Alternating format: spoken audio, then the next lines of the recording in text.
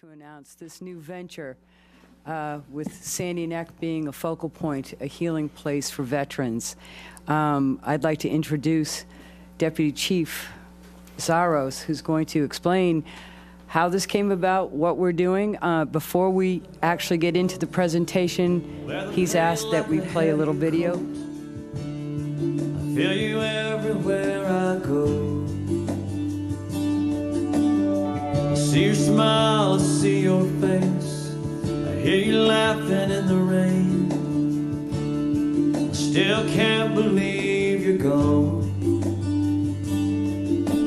It ain't fair you died too young, like a story that hadn't just begun, but death tore the pages all away. I'm just so proud. I'm the proudest, but also the saddest man in the world. sound crazy.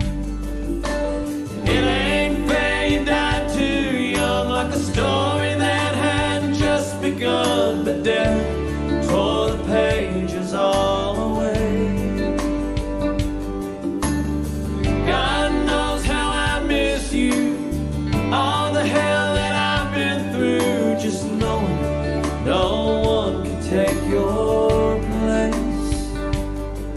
Sometimes I wonder. But tonight, I talk to you as a dad. So not the deputy chief or um, anything else, but really a Gold Star father who was heartbroken, but has picked himself up. And, and, you know, as we hit our 10-year mark, you know, we just wanted to do this. So we worked hard on it, and um, so we show the video to kind of show you where we came from, you know. And to see Nate here is very special because Nick was playing with him on that beach. But, you know, this is my story. So, Nicholas Xiarhos was my first child. Uh, my wife at the time, Lisa, um, had Nicholas, and he was the big brother of Alex, Elizabeth, and Ashlands, who are twins of Yarmouth. He was born at Cape Cod Hospital right down the street, you know, on February 12, 1988, and he lived his whole life in the town of Yarmouth. He had an enduring passion about serving this country and joining the military. What inspired him was the attack on America, September 11th. And so, nine days after graduating from high school, he entered the Marines. And on September 22nd, he earned the title of United States Marine. I will never forget that day at Parris Island.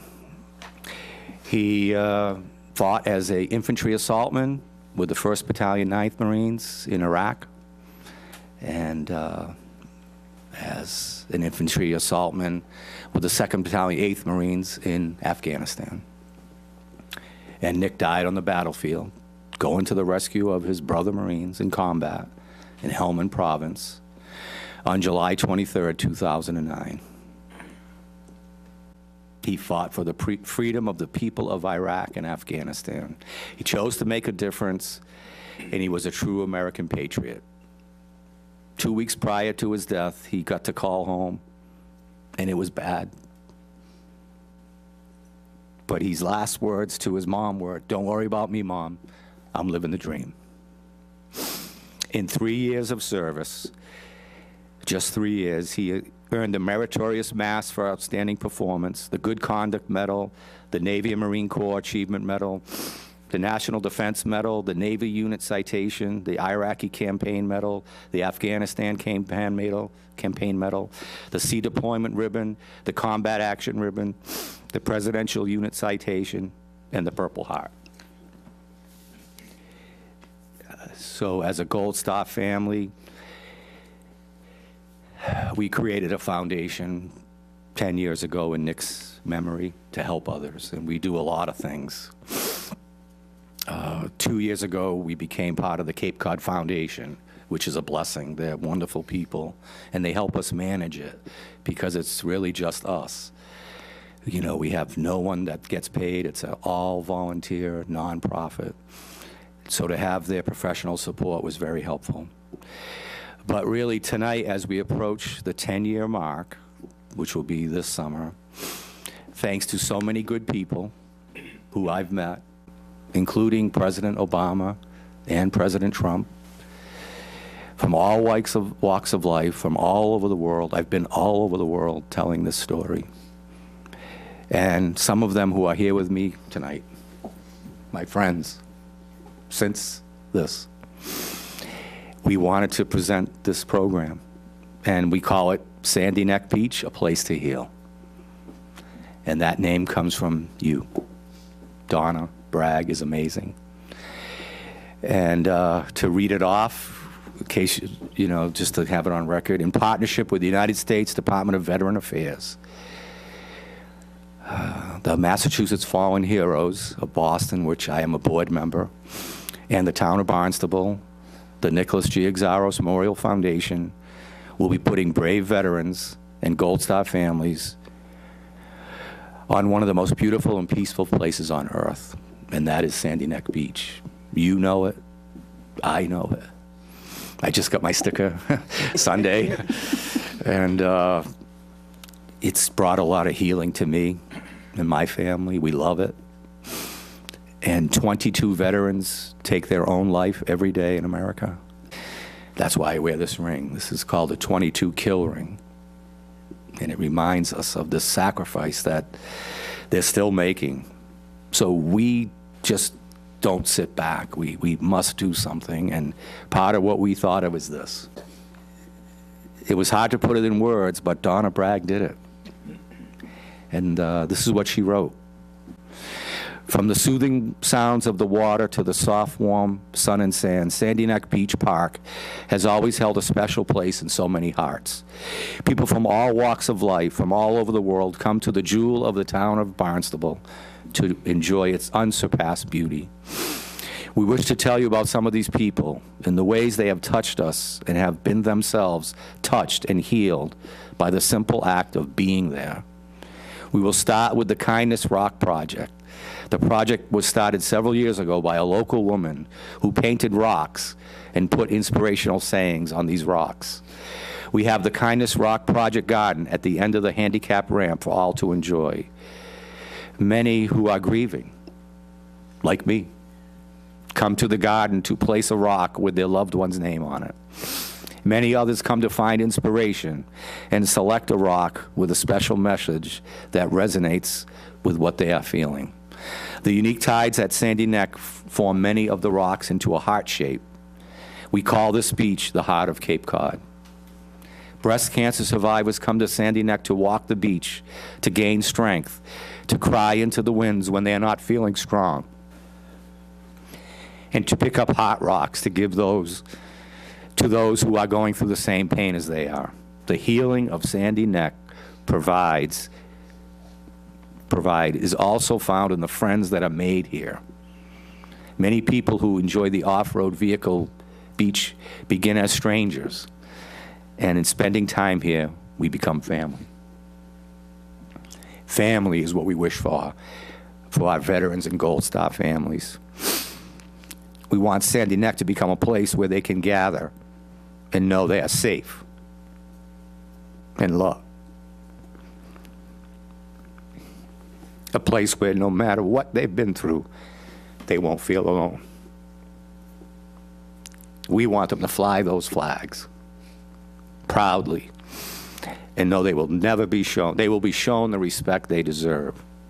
Mostly, we see Sandy Neck as a place where they can just be themselves and perhaps feel the feeling being among family. The list of activities on Sandy Neck is endless. Fishing is awesome. So everyone, regardless of injury, will have access. There is something for everyone here. And by that, we mean they need to be here. So, in support of the United States Department of Veteran Affairs, Cape Cod Vet Center, the Nicholas G. Xiarhos Memorial Foundation will pay every penny of the cost of a year-round Sandy Neck permit for Cape Cod area veterans and Gold Star families. When our, Nicholas, uh, when our son Nicholas got a chance to call home prior to pushing out for battle, we told him that we loved him and to stay safe. And that's when he said those words Don't worry about me, Mom, I'm living the dream. Our veterans and Gold Star families have sacrificed so much. We are here for them. We love our great country and the men and women who defend it. Keep living the dream, son.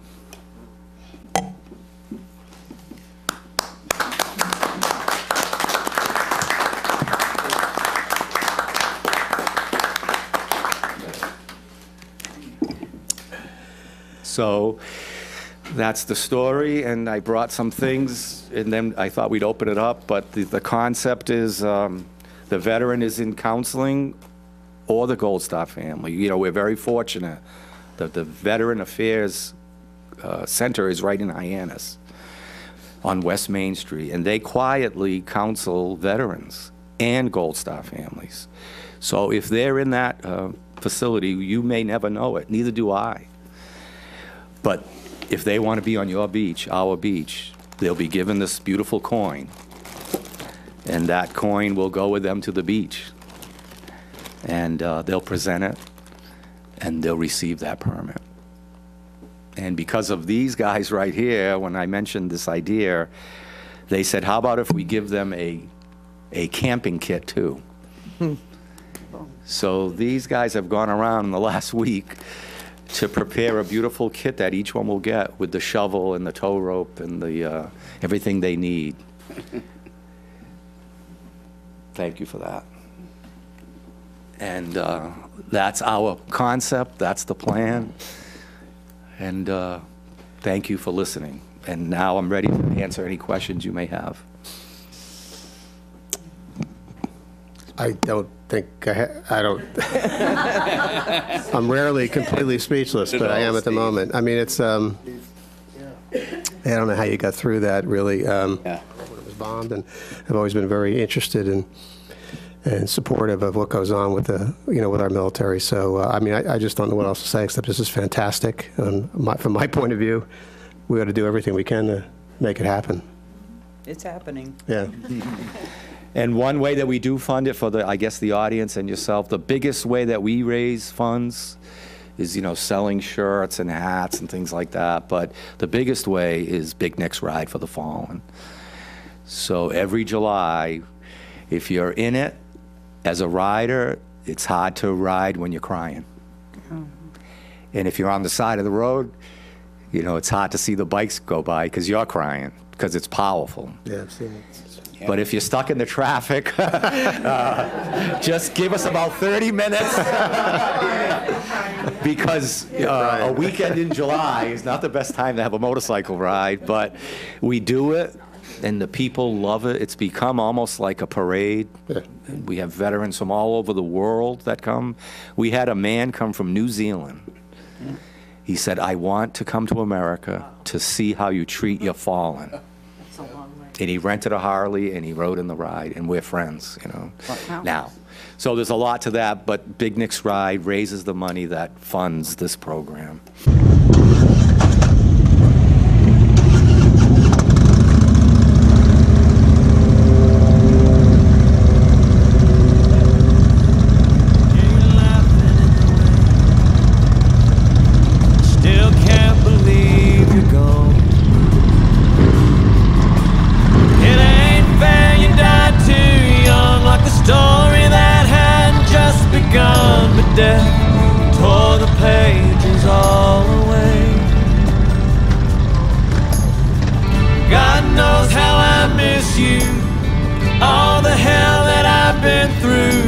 Just knowing no one could take your place.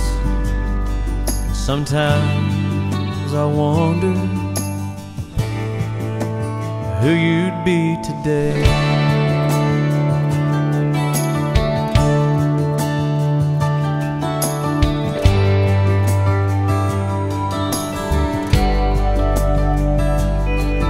Would you see the world? Would you chase your dreams? Settle down with a family? I wonder